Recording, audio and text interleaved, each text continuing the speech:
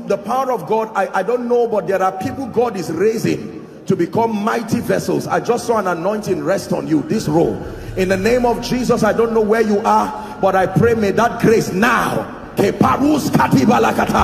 let it rest upon you and shift you to a new dimension. In the name of Jesus Christ. Welcome to Christocentric Message.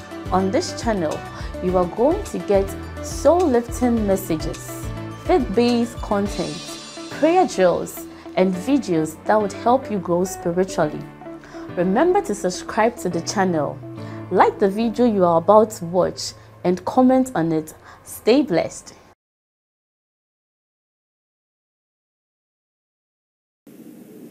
I ask, O God, in the name of Jesus, that you will bless our hearts.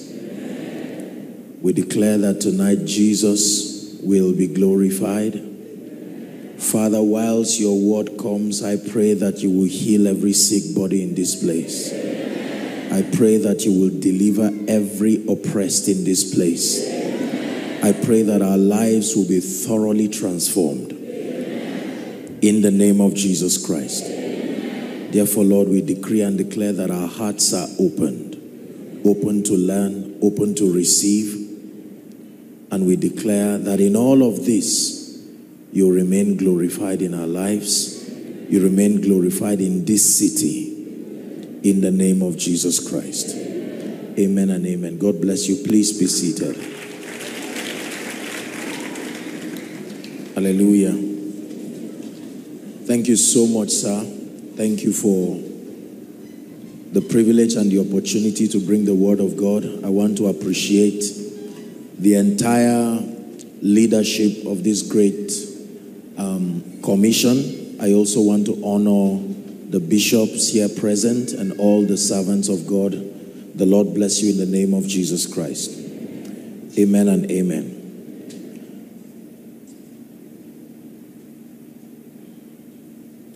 I want to share a few things tonight. I'm just trusting to walk with time.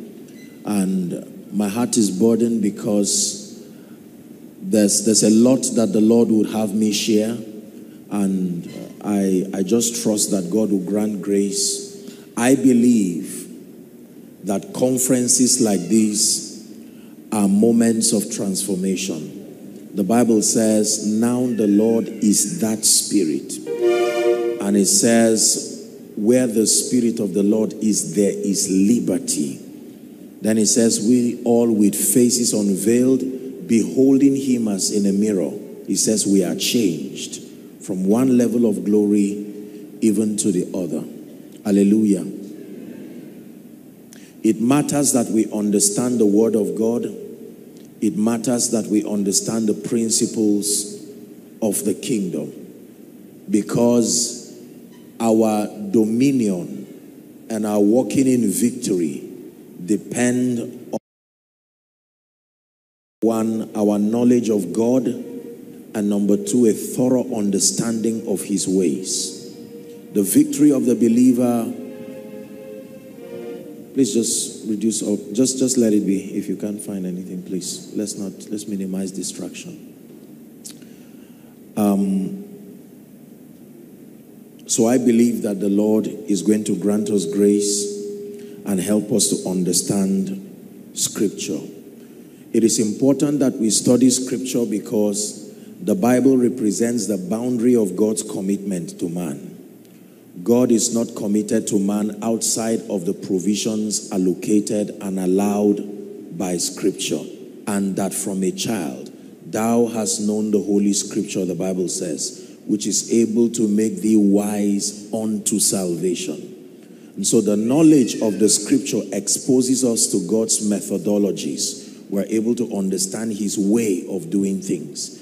And when we sustain the grace to engage accordingly, then our lives become a reflection of what he has said. Many years ago, I had a vision.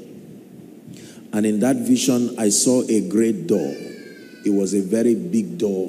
God was opening me up to a thorough understanding of the value of the Word of God. I saw an ancient door, and the Spirit of the Lord took me close to that door. And then I found out that that door was made up of other smaller doors. And I noticed in that vision the doors were opening and closing, opening and closing. And each time the door opened, light will come out of it. And then it will close. Open again, and light would come out of it. And I noticed on every door a scripture was written. And then the Holy Spirit began to let me know that those doors represented revelations and different dimensions of God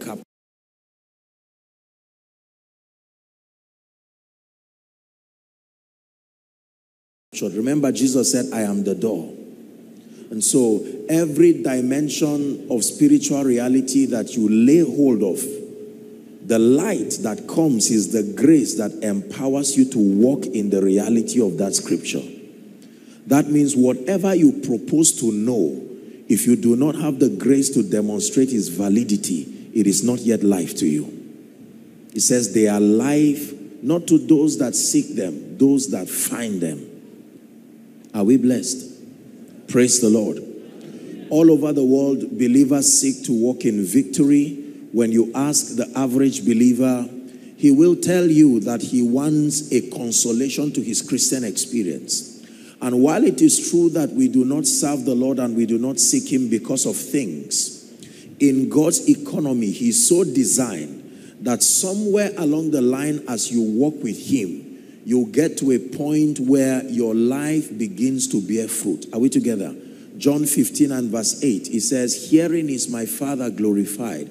When ye bear much fruit, so shall ye be my disciples. So he desires that somewhere in our Christian experience, we begin to produce results that become an evidence to unbelievers that we are serving a living God as well as become consolations to us.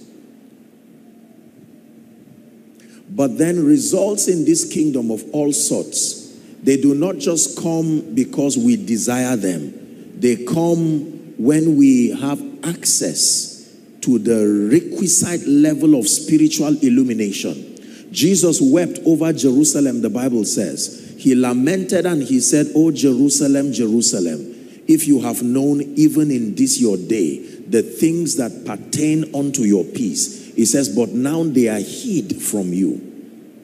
So there are things that pertain unto our peace. There are things that pertain unto our growth. There are things that pertain unto our efficiency. And I'm trusting that God is going to grant grace as we explore a few keys along the theme of this conference. I read carefully through the letter that um, was written and given to me from the ministry, and I could discern the passion of this church for revival, for the move of God, to see that the purposes of God are birthed in a territory like this. And by the grace of God and with all humility, I am a student of revival. I have studied the moves of God across almost every continent.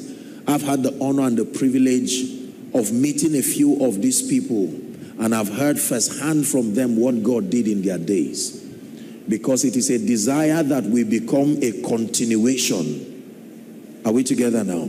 A continuation, so that it will no longer be fables that we were told, but we will be able to prove the validity of God to a generation Otherwise, there will come another generation that knew not Pharaoh, and they will now begin to detest the things that we cherish and hold as sacred. There must be a dimension of spiritual reality that must be preserved. Otherwise, a whole generation will come and detest God. God will become like a historic material. We will just know that once upon a time there were people in Enugu who were passionate about God. Once, you see, let me tell you this. The way the devil destroys a generation is not to cause a catastrophe in one day or one year. The way the devil destroys a generation is to study its system of continuity. Please understand this. When the devil finds out that the fathers are so covenanted to God, they will not backslide. He will give up on the fathers but he will make sure the bridge that translates that knowledge and that passion from the fathers to the children is cut. Respectfully speaking, this is what has destroyed the West. The American nations and all of that. Their grandmothers and their grandfathers, those we call God's generals, while they were there in the field doing the things they were doing, the devil distracted them with the here and now, and they did not think of a system of continuity. Are we together? So Satan gave up on the parents and went to grow with the children. Now the children are the presidents, they are the governors, and they are very vocal and unashamed about their desire for the absence of God in their community. It is not enough that we know God. We must study the system allocated for the transference of these things. In ancient times, you would see that the Lord will instruct the fathers. He said, write it on tablets. When your children ask you, why are you doing this? Tell them, once upon a time, something happened like this. Hallelujah. Every generation, God seems to find a few people. Now, I don't know why it is a few people, but I may be able to attempt tonight why it seems like only very few people are able to qualify to host certain superior dimensions of the grace, the power, the glory, the wisdom of God within the context of a generation.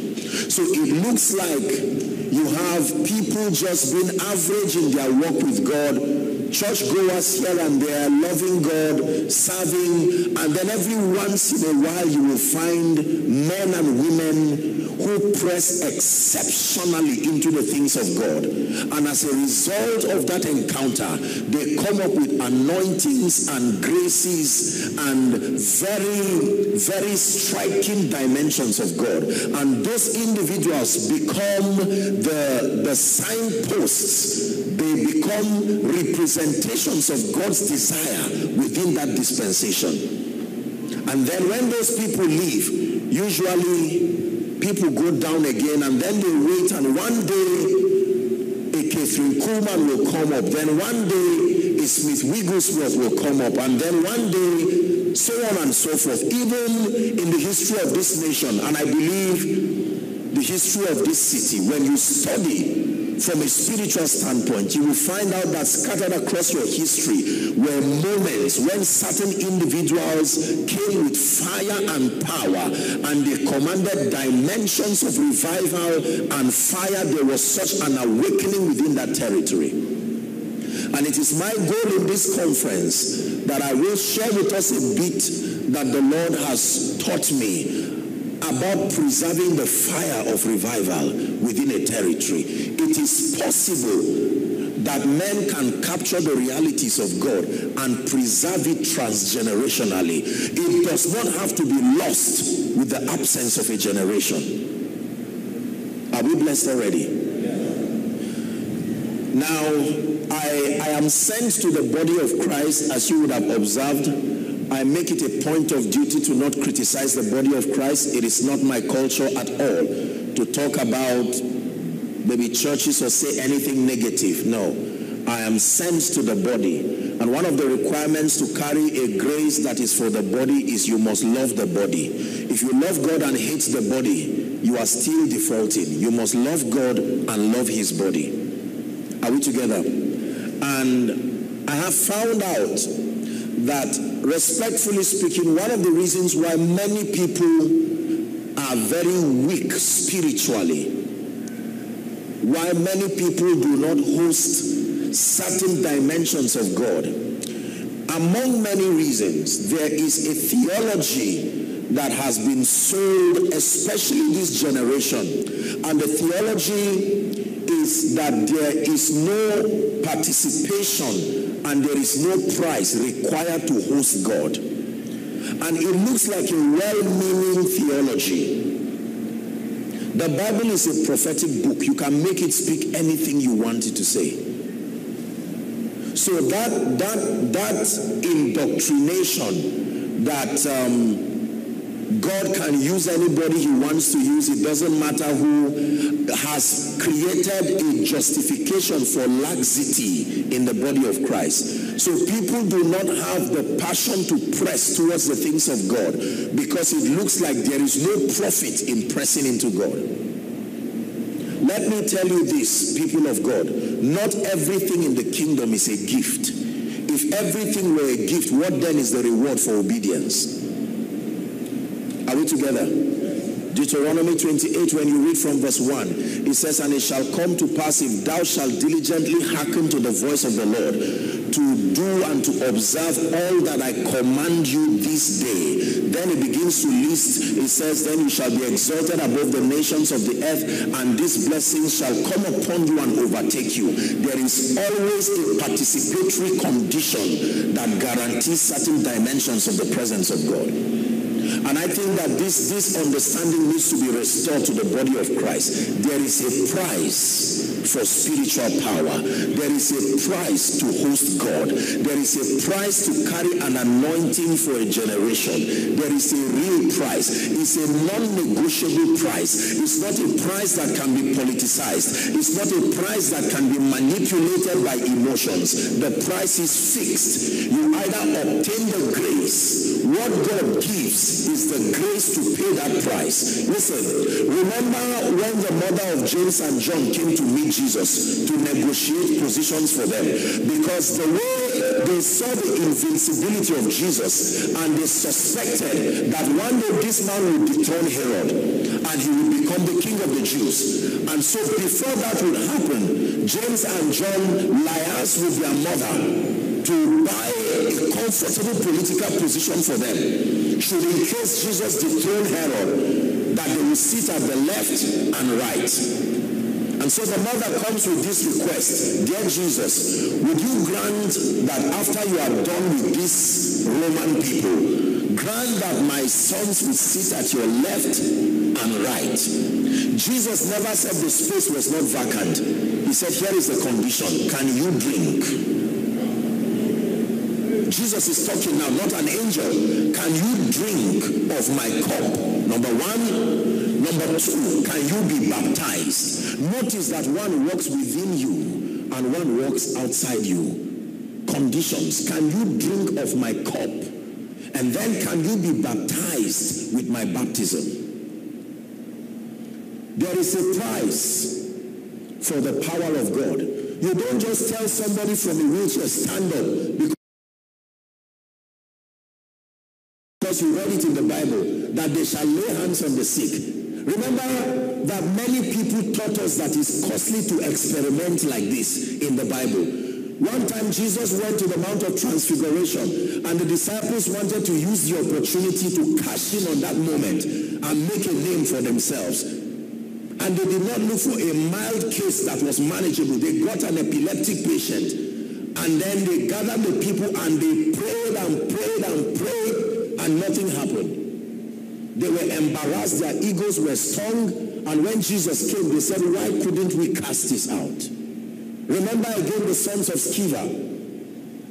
They came and gathered someone who was a demoniac, and they said, In the name of Jesus, whom Paul preaches, that's the real Jesus.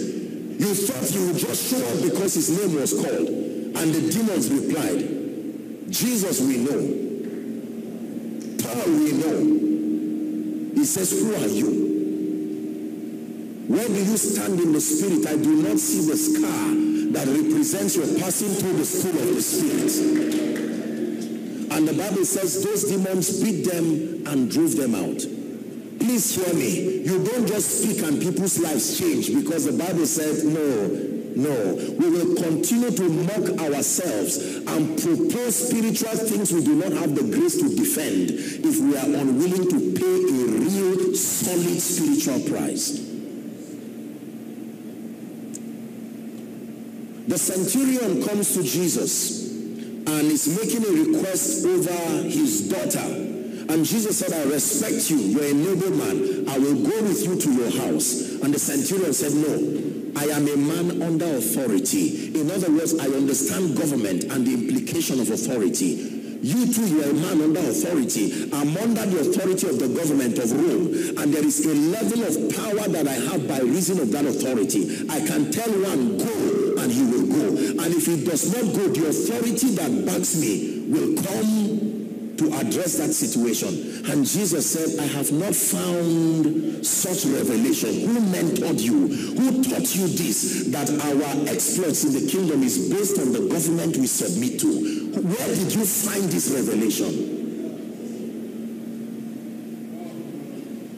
There is a lot, and I'm saying this respectfully, there is a lot of talking in the body of Christ. There is a lot of proposition of what God can do. God can heal. God can change your life. And then we keep saying amen, amen. But our frustrations continue to grow because it's like the more we are attending church, the more we are getting away from God. There is no consolation to the reality of the power of God. Psalm 63, David began to speak and he said, Oh God, my God. He says, early will I seek you. My soul longs for you. My heart pants for you as in a dry and weary land. It says to see your power and your glory as I have seen in the sanctuary.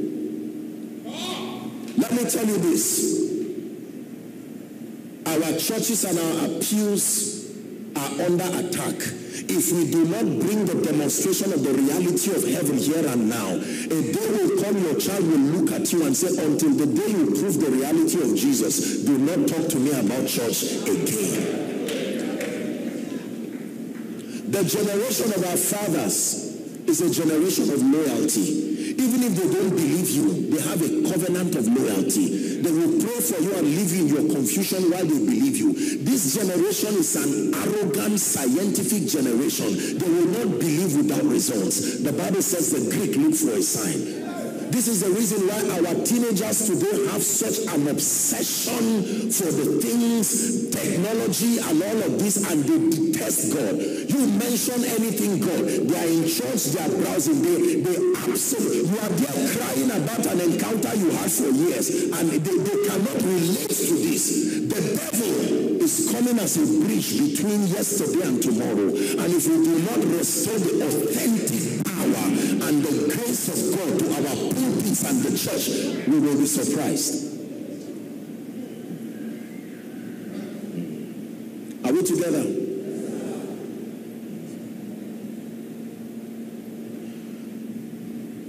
I don't mean to bring bad memories. Forgive me if I do.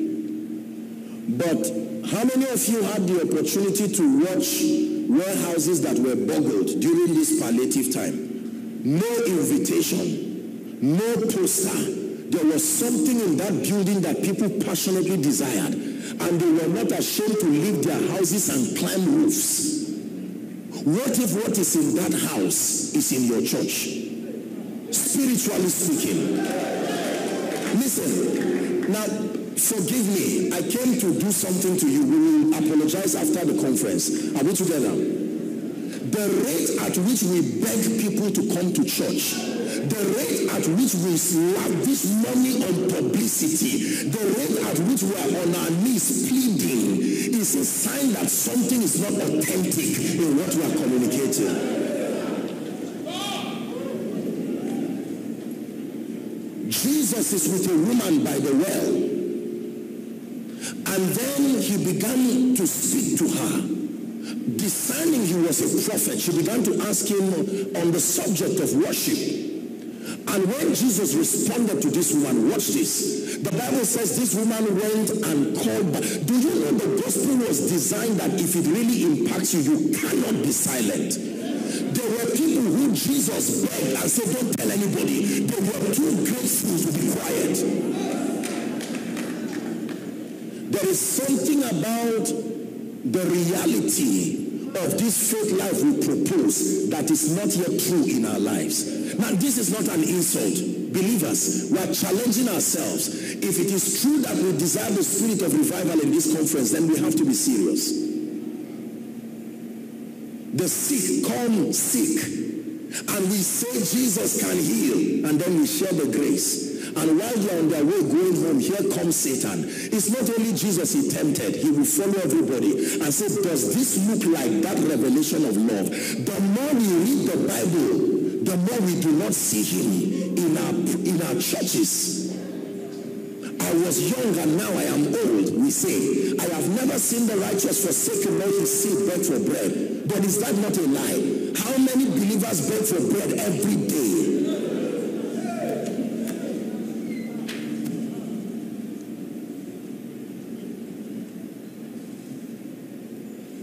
We seem to be at the mercy of situations and circumstances. Watch this.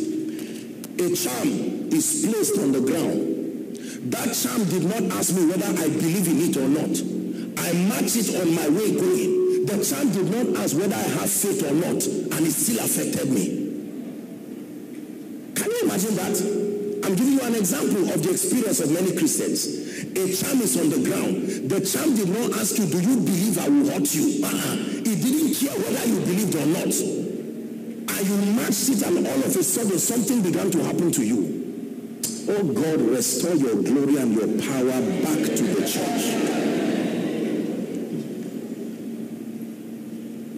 There are too many things we propose without the grace requirement to defend them. And the world used to be quiet, but now the world is beginning to ask questions.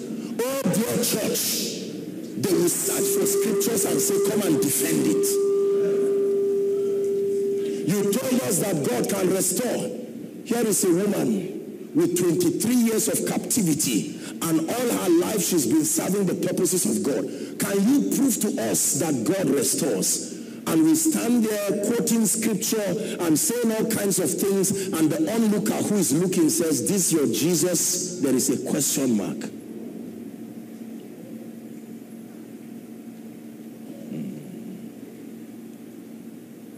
is god challenging someone tonight?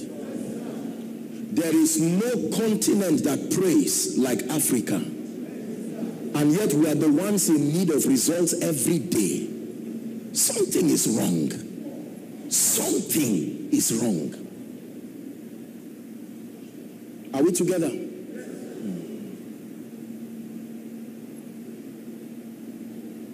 Financially speaking, there are many, many believers who are in situations, they are givers, they love God, they tithe, they sow, they give, and yet in a shocking way, they never rise to a notable dimension. I'm not talking of just having your needs met. That's not prosperity. You don't need God for that to happen. You just need wisdom. Not even the wisdom of the word. Sophia, the wisdom that comes by studying the laws of nature.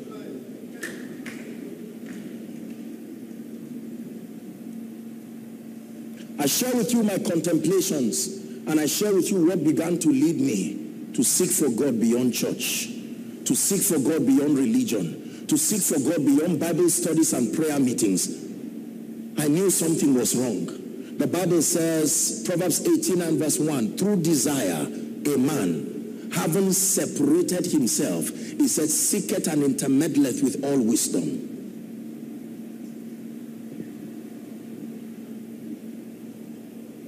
Something is wrong. I won't take too much of your time, but I need to challenge you. When we talk about revival, did you know for the average person, we don't even have an idea of what we're talking about. We just feel, oh, a time when people will just pray for a few minutes and then backslide whenever they feel like doing. And then we just know that in 1995, there was such a move of God. No, sir. And yet we say the path of the justice as a shining light that shines ever brighter unto the perfect day. Let God be true. Let God be true. Enugu State, let God be true. My experience is too small to validate who God is. If, if my experience does not capture all the dimensions of God, I cannot create a theology out of my limitation to mean God cannot do it. God will not bend to us we are the ones who will bend to say, Lord, I take responsibility. There is something about my Christian experience that is not capturing the fullness of you. Are we blessed? Yes.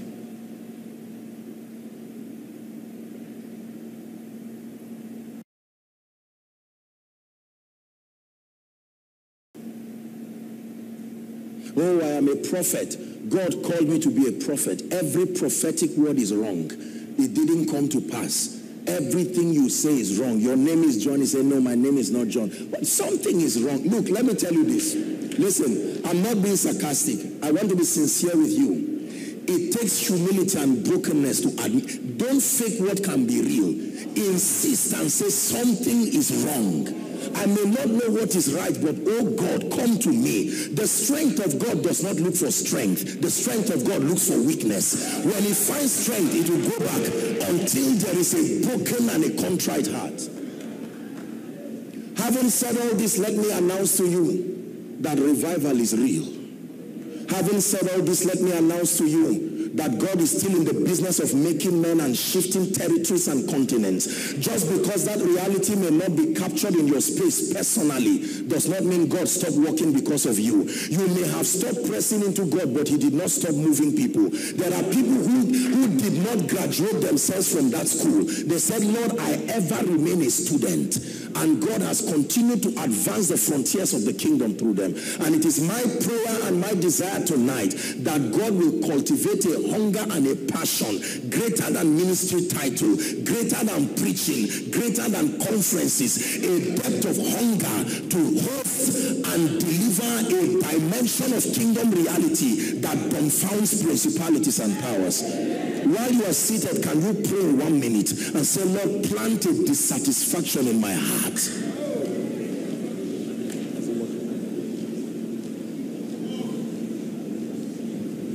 planted dissatisfaction.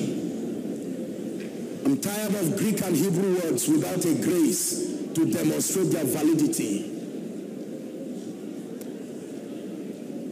Please pray. Please pray. Let it be from the depth of your heart. This is 25 years of the faithfulness of God. There has to be a dimension of substance to our Christian experience.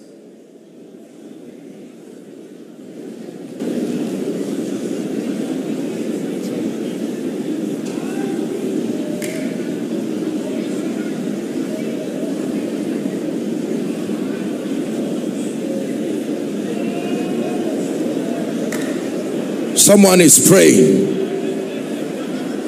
Someone is crying to the God of heaven. Call upon me, he says, and I will answer.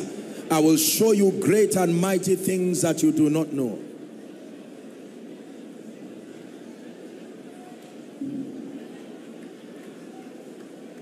Pray for one minute.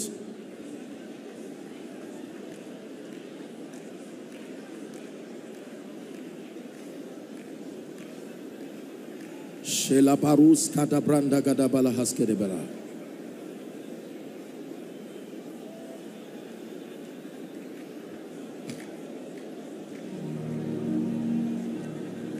Lord, we desire to see your power and your glory in Enugu State once again. We desire altars to be places of fire we desire to see sinners saved with forceful power. We desire to see a reign of signs and wonders again. We cannot lose this heritage. There must be a generation that becomes a continuation of this.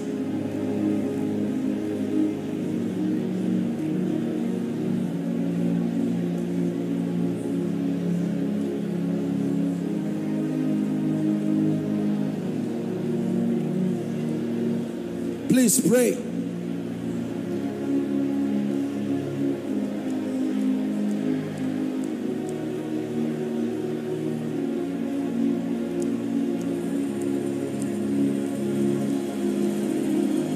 Hallelujah. Listen. Please listen.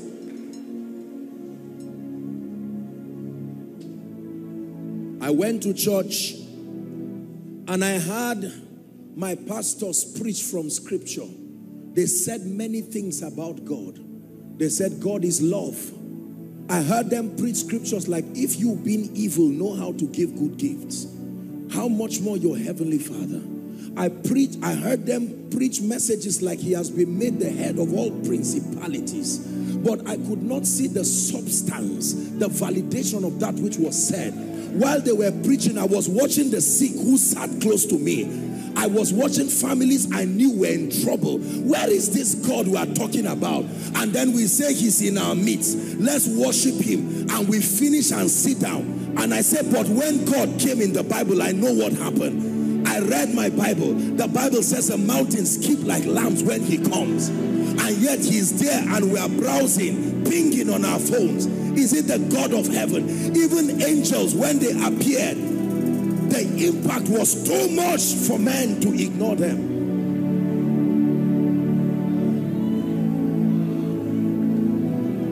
Something is wrong. My eyes observe my ways. The first two words is a declaration of an acknowledgement. You are my son. That means on legitimate grounds, you qualify to be a partaker of everything that I have. My son. Not a stranger, my son. Then give me your heart. There are not many times God demands things from men. But every time God does demand a thing from a man, it is because he's preparing him to receive something higher and greater. And he says, my son, you want to be used as a general to the nations. My daughter, my church, my territory. If you want to be mightily used by God, listen to me. The first key is not anointing. The first key is not fasting. The first key is not prayer. The first key is not Bible study. You can do all those things and yet miss it. Because many have tried it and it did not work. The first key to being mightily used by God is the state of your heart. The state of your heart vetoes your prayer life. The state of your heart vetoes your fasting. Every other thing finds its credence from the purity of your heart. Are we together? My son, I desire to use you, but the state of your heart. Do you know why God is always after the heart of men? I will tell you why. Because in his design of man, he created the heart of man to be able to host him and him alone. And in that design, whatever finds its way to your heart is your God. Please observe this. Your God is not what you worship. Your God is whatever finds a place in your heart. It doesn't matter what you worship physically. In the realm of the spirit, they know what you bow to not by searching a deity. They search your heart. God designed the heart of a man to be the mirror of his allegiance. Whatever can have access to that holy of holies in your heart qualifies to be your God.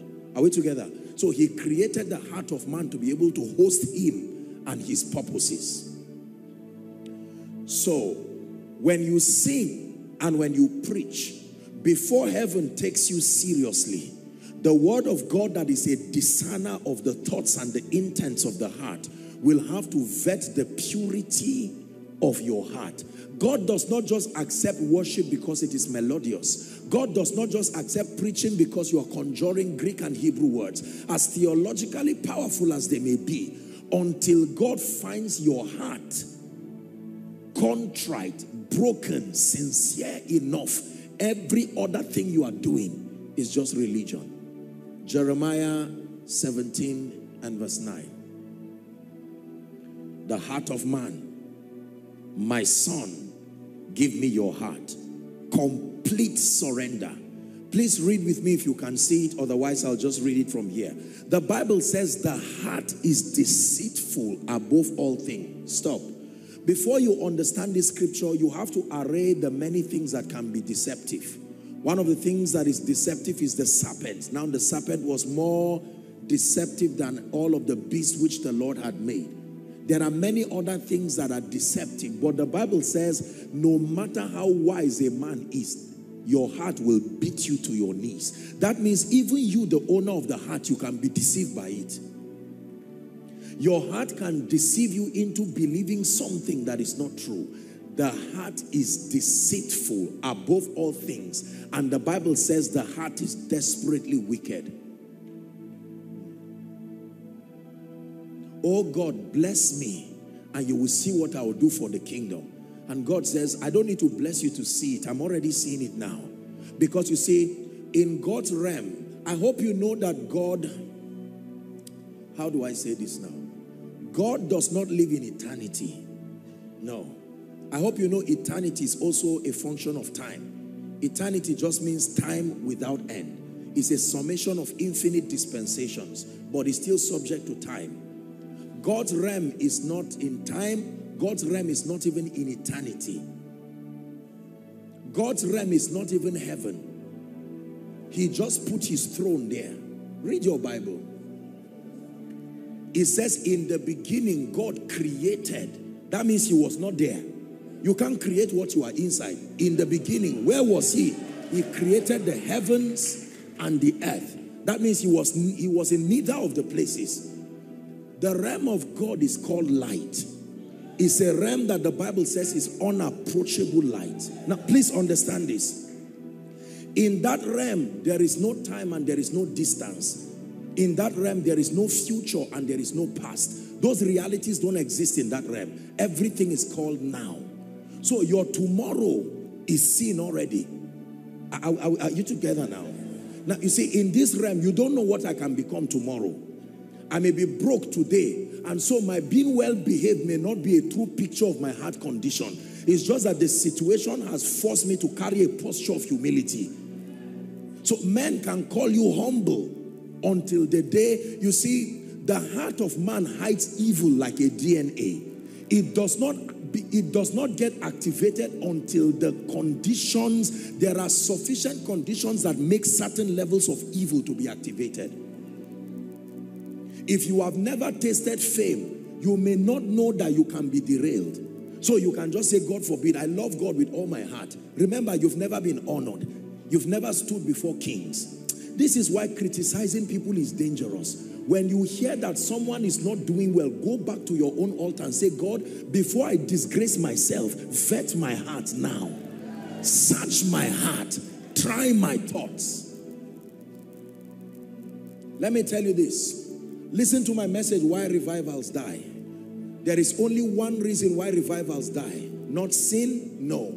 The humanity of men is the reason why revivals die. Revivals die because the custodian of that revival is a man.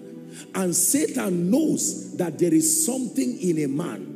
Prophet Isaiah began to observe it and he says, Hast thou not known, hast thou not seen? He says, The everlasting God, the Lord, creator of the ends of the earth, does not faint, neither is he weary. This is a quality that is prevalent with men. Satan knows that no matter how powerful I am, I will be tired one day.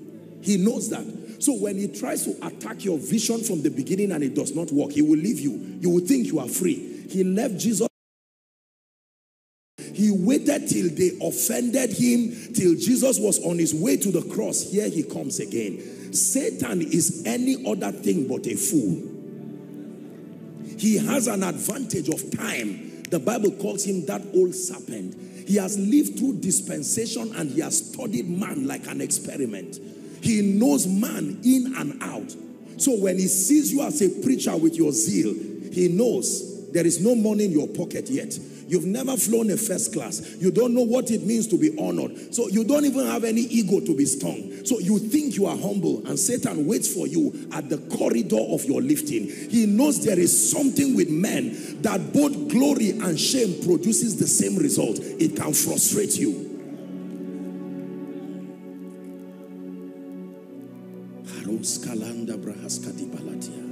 Hmm. Are we together?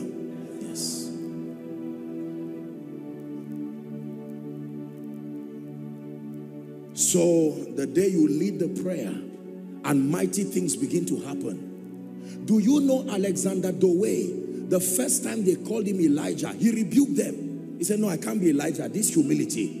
But over time, he thought to himself and said, but honestly, come to think of it, who else? Because at that time there was no internet. You will not even know God is also working at the other side of your ignorance. God knows men very well. That's why he does not trust what you say till he sees what is in your heart. Have you not seen men who say, I will stand with you forever? I will build maybe a ministry or I will be with you in politics. I must vote you. And while they are saying that, quarter to their to when you will need them, they will change. God knows the ever-changing nature of men. So he does not trust anything you say. I hope you know while you sing, your heart is also singing. While you preach, your heart is also preaching. The sermon of your heart is greater than that of your lips.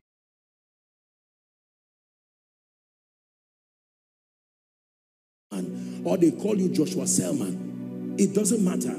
Death has walked in you so that life will walk through you, even to others. The vulnerability of men cannot allow God to use them the way they are. You come as you are, but you are not sent as you are. You come as you are, then you are made, then you are sent. The making process of a believer is the hardest part of the Christian experience because not even your tears will stop God. Is God speaking to us? Look, when you see a man in a spiritual training, it's a fearful thing.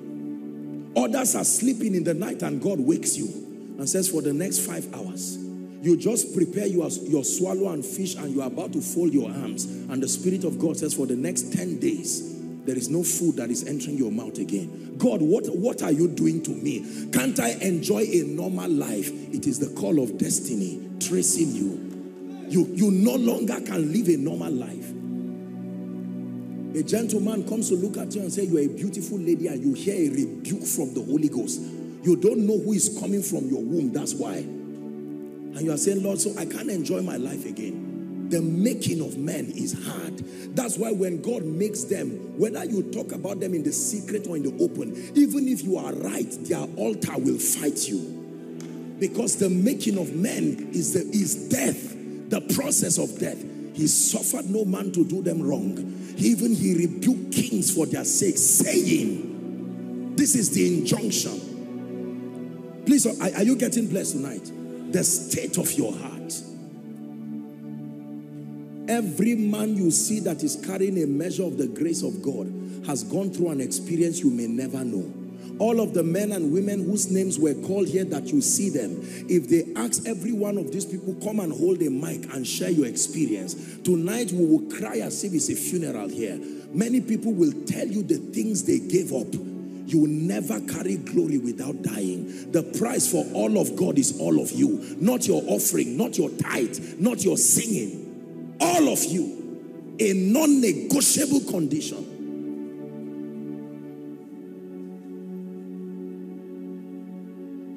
Casting crowns, lifting hands, bowing hearts is what we've come to do.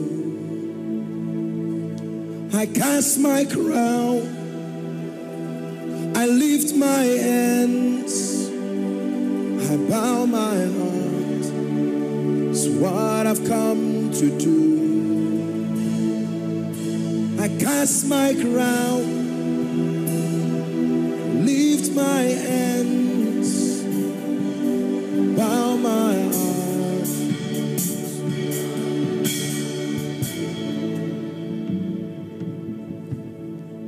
Listen, God will not ask you to just give any money. He wants you to give the one you worked for. The one you got free is Ishmael. The one you worked for is Isaac. It's easy to give Ishmael. Abraham drove Ishmael without thinking about it. Let me tell you how God makes mighty men in this kingdom. He does not take Ishmael. Isaac is the price for being Abraham.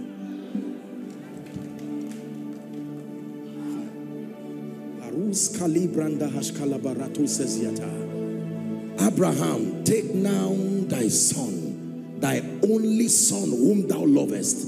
Go and offer him upon a mountain. Abraham held Isaac, his future, a representation of his worth, and dragged him to the mountain. Isaac said, Father, what did I do to you? And he said, before you arrived, I was in love with someone and not even your presence will interrupt that relationship. We will rise. It's in your name.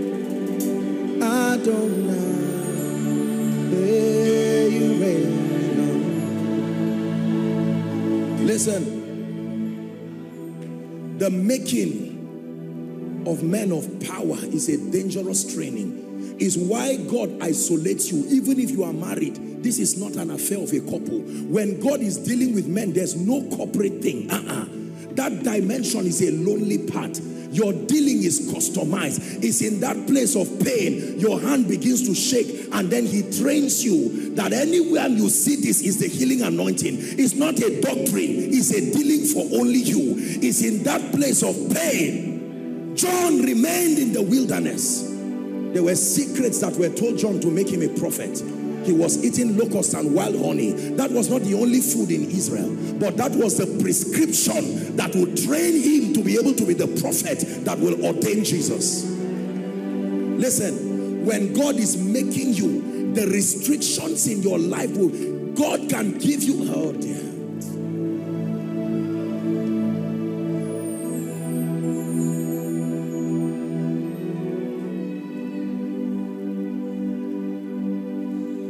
Can say for the next three years, from 12 to 3, that is the time I have apportioned to meet with you. Don't miss it. And by 11.30, you are tired and it's as if you will die. He wants to teach you how to give up on your own strength and tap into his own. Because the schedule that you will have in ministry will require that knowledge. There is a spiritual architecture he's teaching you. That they that wait upon the Lord, there is a system where weak men can become strong. So when he wakes you when you are tired, it's not wickedness. It's the training that makes mighty men. So that when you have a busy schedule in the future, they see you standing. From whence cometh this unusual strength? Oh, Samson.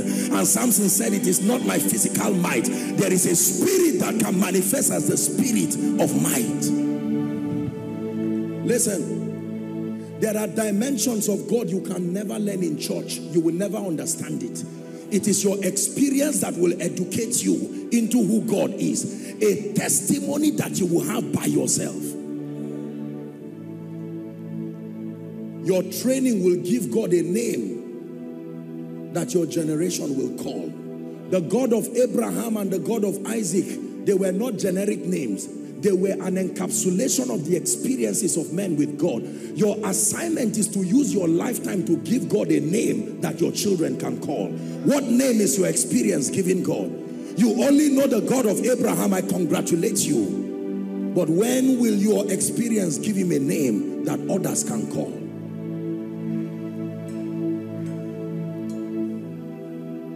So there are people who will stand and lift up one song and his Shekinah will fill that place because the altar upon which their training was built is alive. There is an altar in the realm of the spirit. There is a covenant that they have with God. Hmm. There are realms that cannot be imparted.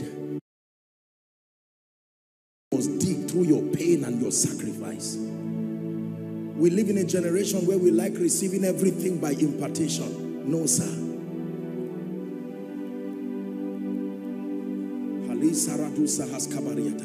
Apostle, God is calling me to be a kingdom financier. And one day God says, aside from the clothes you are wearing, fold everything in a bag and sew it. You will cast that spirit thinking is a demon. It will come again. God speaks once, but you don't hear only once. He will make you hear as many times as your unbelief wants. Listen, uneasy lies the head that wears the crown. Let me tell you, when you see people who truly carry authentic power and grace, find out the story behind their training.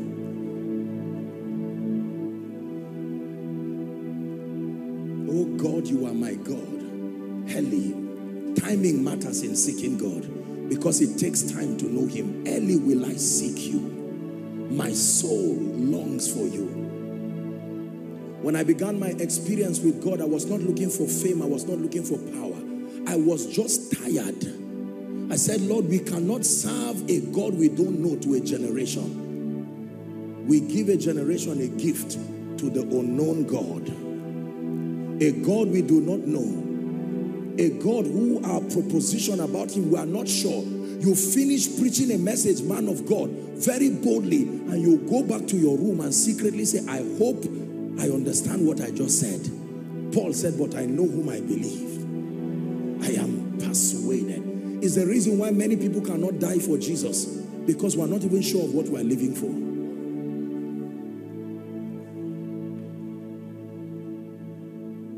Time will fail me to talk of Gideon and Jephthah and Barak, men who through faith subdued kingdoms, wrought righteousness, shut the mouth of lions. And the Bible says that day without us would not be complete. Hear me. Truly speaking, there is a generation rising Jesus will not return until there is a manifestation of that power. I have seen it. I have seen it many times in my vision that Africa, God's firstborn, the stone that has been rejected, the stone that identified with Jesus on his way to the cross. Every continent rejected Jesus except Africa in a man called Simon of Cyrene. That was Africa carrying the cross for Jesus. And since we partook of his sufferings, we must also partake of his glory. It is the reason why Africa will become the centerpiece of revival. It's not a lie.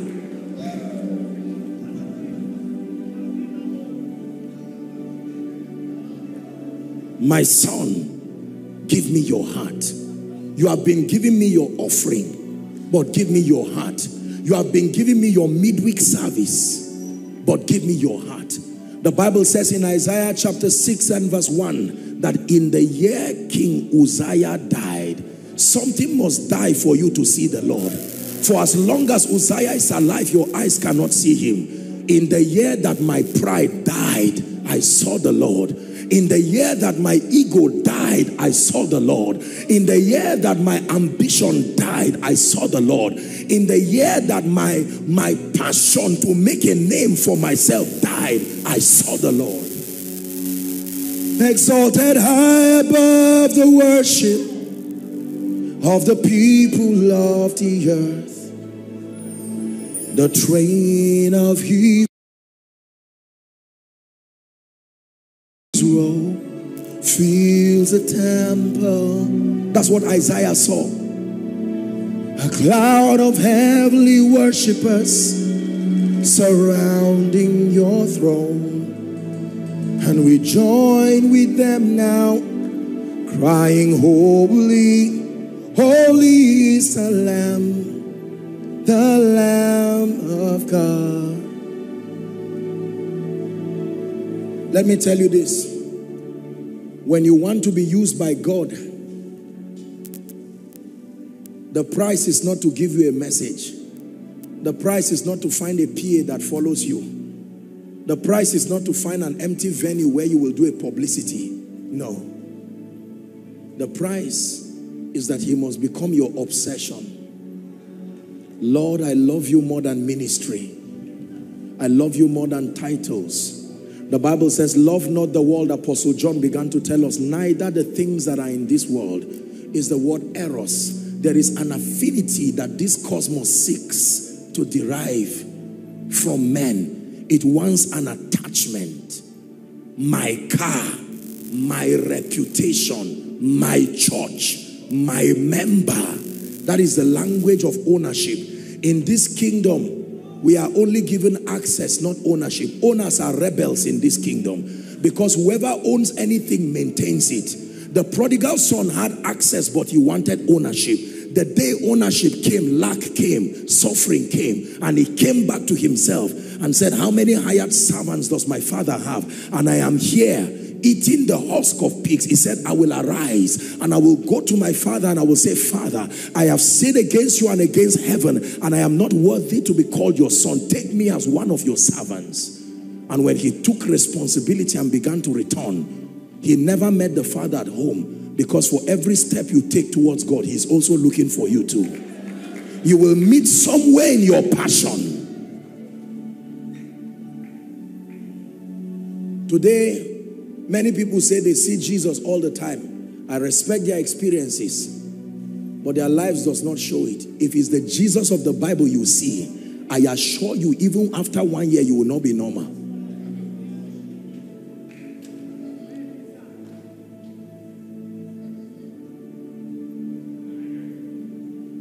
I love, I love,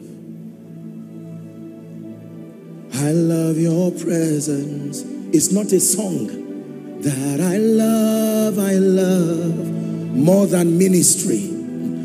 I love your presence. I love, I love. I love you, Jesus. I love, I love. I love your presence. It says, No eye had seen, nor ear heard, neither has it entered into the heart of man the things that God has in store for them that love him not them that preach about him, not them that sing about him, not them that conduct service for him, not them that sweep the church for him. Thank God for these things. But brothers and sisters, the non-negotiable condition to carry God is that you must so die that he becomes he becomes the epicenter of your self-worth and your relevance. Until he finds himself in you like a mirror looking back to him, you will never host his power. The presence of God is not cheap. No. The price you pay for life is death. And until that price is paid, you will never carry the life that liberates nations. This I learned from the Spirit of God. This I have seen in the life of people that have been used by God. It is a lonely path. Brothers and sisters, it is a painful path and men of God, respectfully speaking, let me encourage us. When we are teaching people about what God did in our lives, let's not tell lies. Let's tell them the truth of what happened. That it took time to know God. Let's let them know that we fasted it was not just that we were standing in the afternoon and power came. Let them understand the implication of the grace they so cheaply enjoy. Let them understand that it came with blood and tears, not to scare them, but to let them know this is how it happens. The birth of anything valuable is painful. Ask every woman here, she will tell you.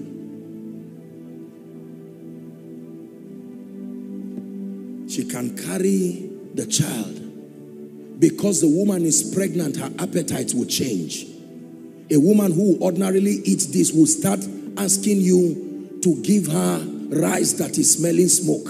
And you are saying, Madam, what are you looking for? That's what happens when you are pregnant. When you are carrying something of destiny, you cannot do what everybody is doing. It must alter even your appetites. Am I blessing you?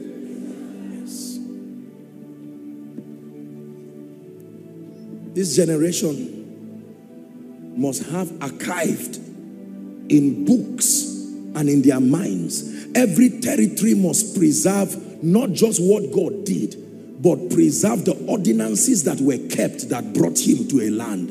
Enugu State, let your children and your children's children understand the formula that brings God to a territory. Let them not just know history, that God can come. Let them know that it takes sacrifice and surrender. Let them know that it takes a life of dedication. Total surrender. Non-negotiable surrender. That everything God gives you belongs to him and he can make a demand of it any day and any time. I cried unto God and I said, Father, if there is anything I cannot give you in my life, take it by yourself. Do you know there are times you cannot give Isaac? Remember, it took long before he came. You only give God the grace to take the Isaac by himself.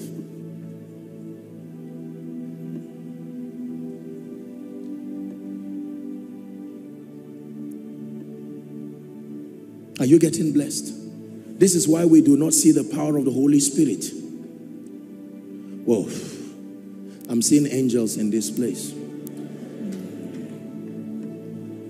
Lord is opening my eyes and I see angels in this place. See angels in this place. I'm seeing the number 21 in the spirit and I'm seeing oil being poured on those people right now as I'm speaking. Please bring them out if you can. 21. This is what I'm seeing in the realm of the spirit. 21. Shelata salambra haskade baruzia The spirit of revival is in this place. Shema da da da da da. I'm seeing the number 21. The Lord is saying you are drinking of ancient fountains. There is an awakening happening in your spirit. For some of you, the dreams that you have been having, there is a quickening. You saw it in the dream. Some of you even saw these meetings in your visions. The spirit of grace is initiating you into an experience that produces power in the spirit. And Jacob wrestled with him all night and said, Leave me for the day breaketh. He said, I will not let you go until you bless me. And he said, What is your name? And he said, My name is Jacob. He said, Thou shalt no longer be called Jacob, for as a prince you have had power with God and prevailed and he touched the hollow of his thigh and blessed him. And the Bible says the sun arose and he called that place Peniel, the face of God. When he comes, you will know he has come.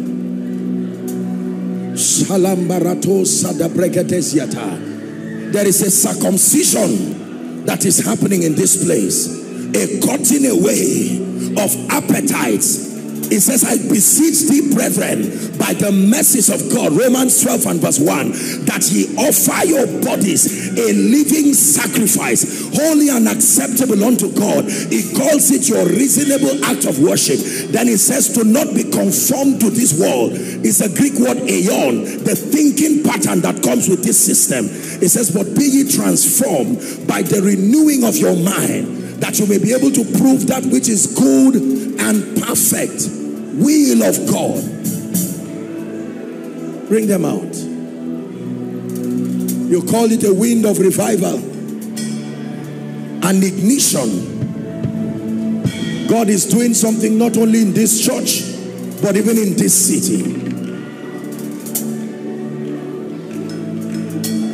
Hallelujah. Now, please watch this. Forgive me. I hope I'm not breaking any protocol. Please forgive me if I do. But in the name of Jesus, the Christ of God, I'm seeing fire just rising from this place. And I'm seeing it come on people. Those people will start running out by themselves. Please hold them so they don't injure anybody. I'm seeing a grace.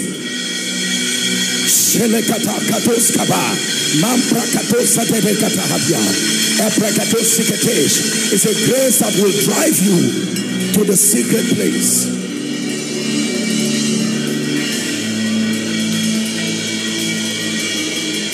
Jeremiah chapter 6 verse 16. Stand in the ancient parts. Ask for that part. That ancient part.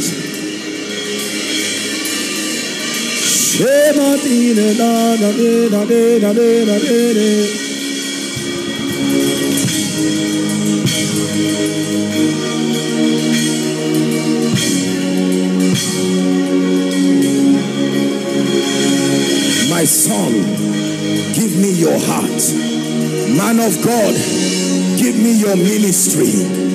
Give me your reputation. This is the price for all of me. This is the price for commanding power in the spirit.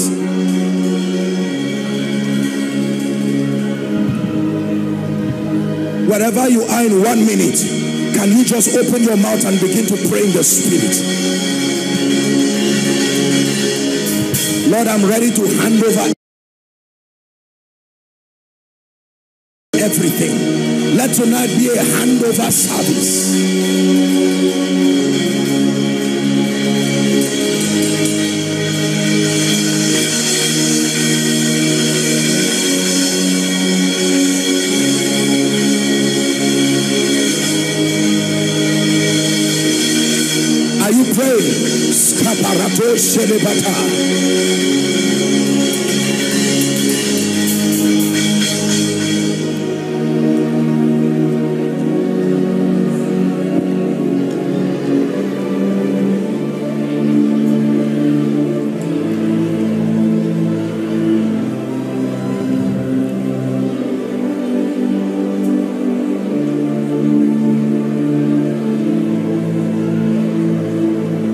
Hallelujah.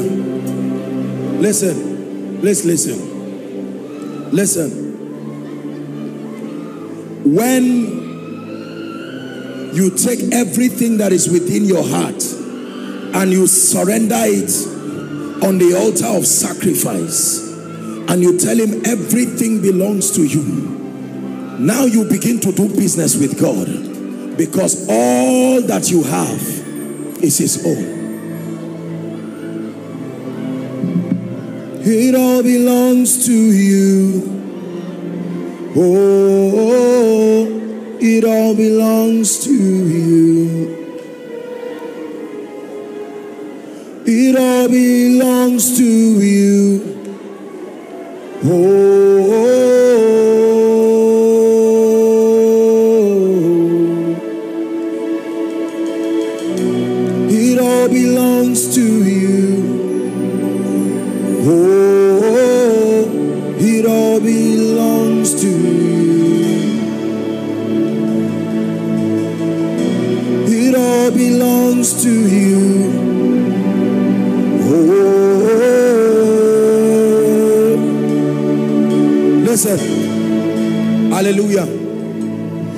next five minutes, please hear me. I'm going to leave you and your maker. I don't know how you are going to cry before God in the next five minutes. I leave you alone with God and say, Father, search my heart, try my thoughts. You know the tendencies that are in my heart prune my heart, oh God. Take away flesh, take away pride, take away vain glory from my life. Purify my heart in truth. The next five minutes, cry before your maker. Enugu State, are you praying? Say, cry that brings revival.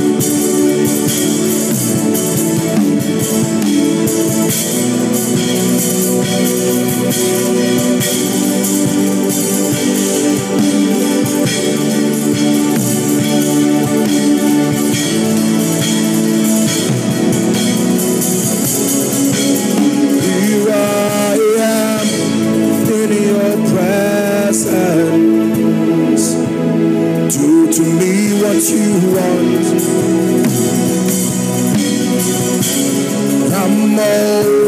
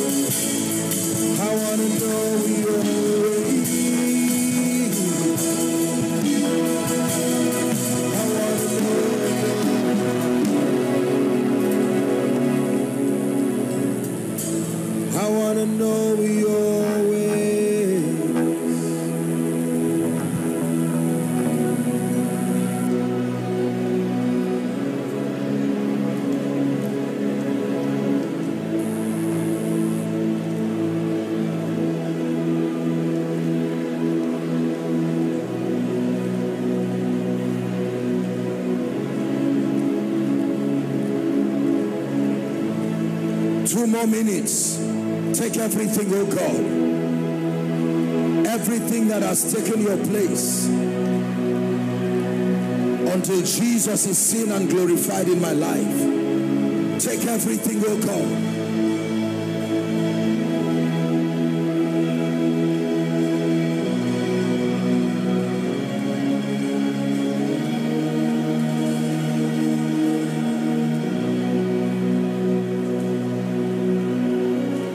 more minutes. Don't be tired of crying. You came here for an awakening. Christ away.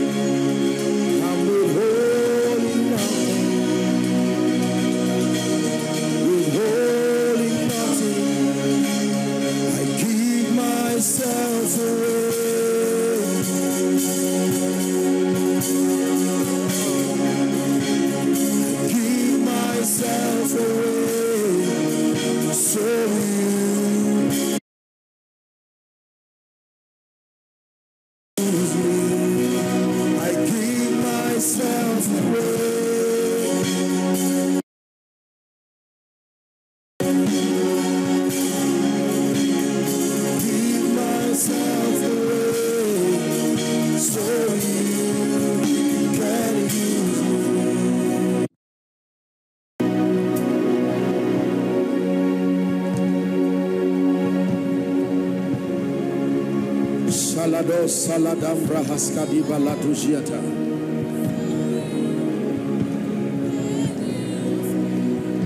My soul says yes.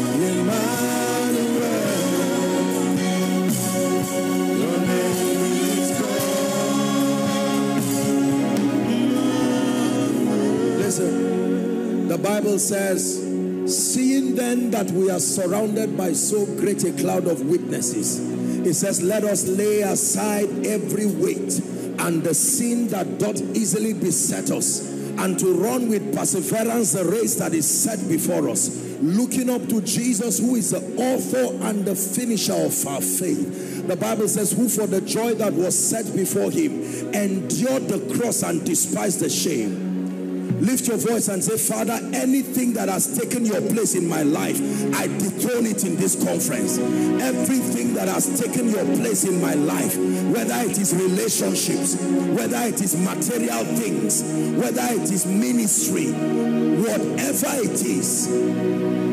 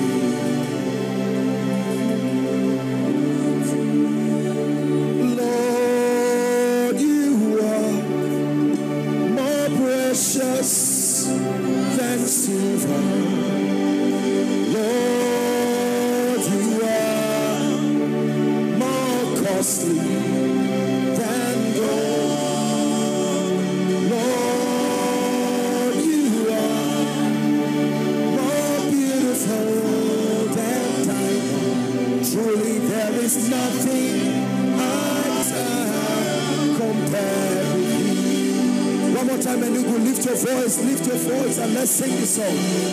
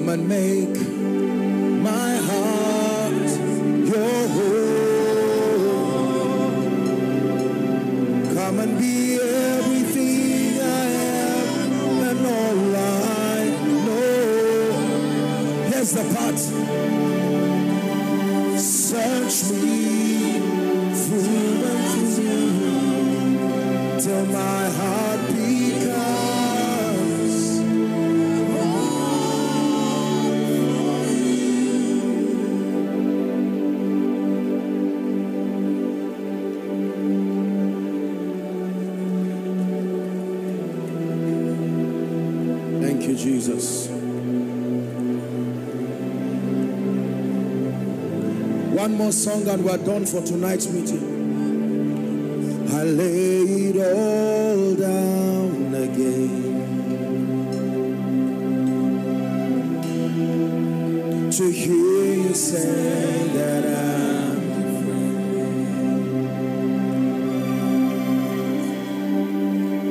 Help me find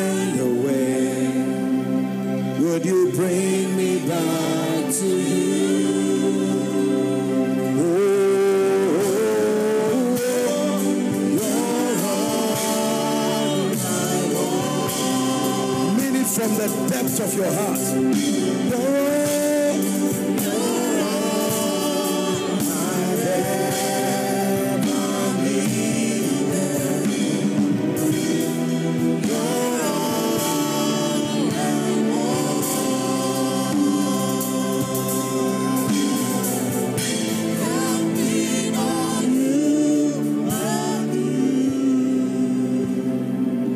Psalm 24 The earth is the Lord's and its fullness thereof, the worlds and they that dwell therein. For he has founded it upon the waters and established it upon the seas. And then the Bible says, Who shall ascend to the hill of the Lord? And who shall stand in his holy place? It says, He that hath clean hands and a pure heart who has not lifted up his soul unto vanity nor sworn deceitfully.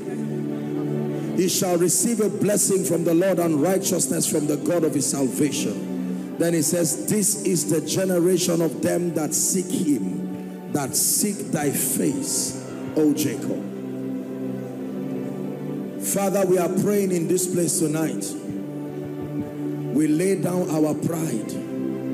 We lay down our ambitions we lay down our reputations for your glory. We lay down our personal desires, oh God. Every weight that besets us, we lay it down. We desire to see you glorified in this church.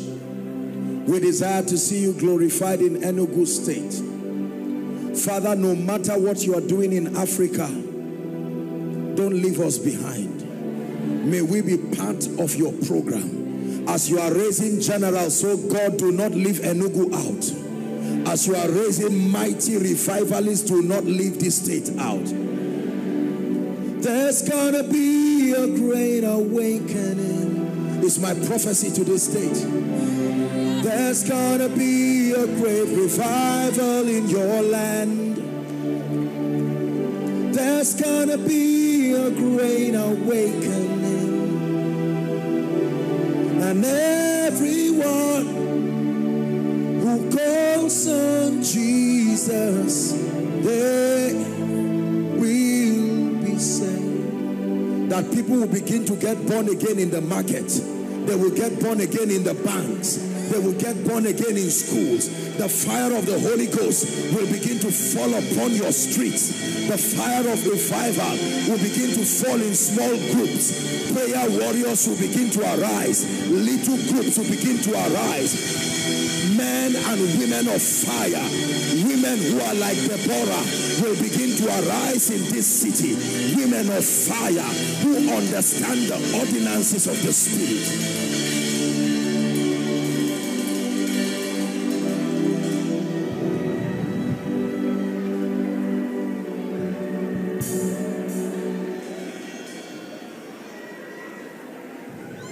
Beloved in Christ. We hope this message was a blessing to you. I would want you to do something for us. If you are new here, kindly hit on that subscribe button for us and then like this video as well. Share to your family and friends to bless them because we know that this message will be a blessing to their body, to their soul, and to their spirit. We would need you to do one thing for us too. Tell us in the comment section where you were watching us from, and if you've got any testimony for us, kindly share with us. Thank you for watching.